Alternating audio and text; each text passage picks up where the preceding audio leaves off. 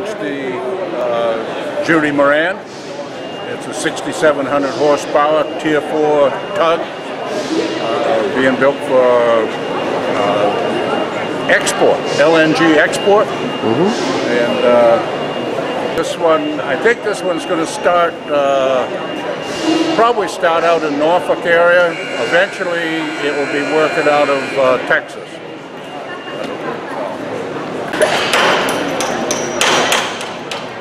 And we've, now we're- we've uh, eclipsed 40, 40 tugs for Moran, and the intent is not to slow down.